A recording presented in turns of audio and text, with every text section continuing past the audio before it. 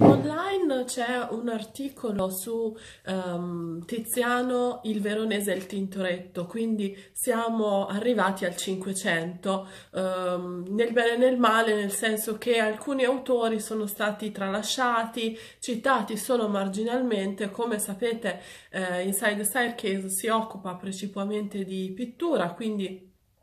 si è scelto di dedicarsi uh, agli autori che um, realizzano opere pittoriche piuttosto che uh, scultoree e um, alcune cose sono state effettivamente tralasciate. Spero in futuro di poterle recuperare uh, di poter recuperare magari ecco i buchi o gli autori secondari attraverso una rubrica che sia monografica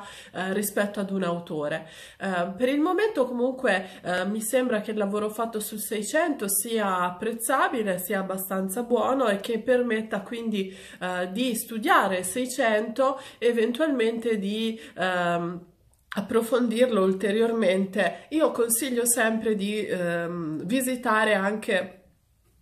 Um, la pagina Facebook um, dove si possono trovare i contenuti aggiuntivi. Um, per quanto riguarda il 500, uh, eh, appunto il nuovo uh, post è in più parti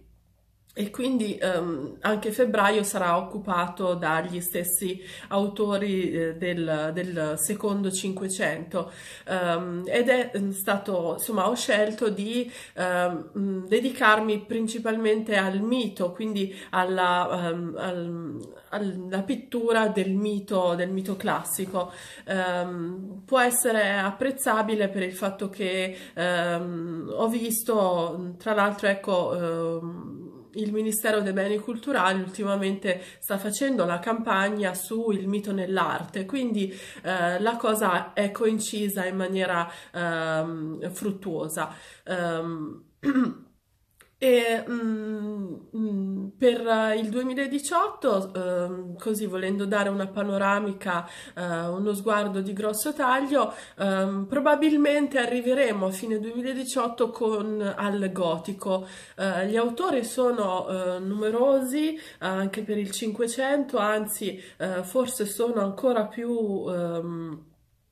pregnanti rispetto a quelli del 600, si parlerà sicuramente di Michelangelo, Raffaello, Leonardo da Vinci, arriveremo a Fra Filippo Lippi passando naturalmente per eh, il Botticelli. Eh, le cose da, da, vedere sono moltissime ed è il 500 un secolo meraviglioso che io adoro ehm, ehm, sopra gli altri. Um, per quanto riguarda ancora il lavoro fatto nel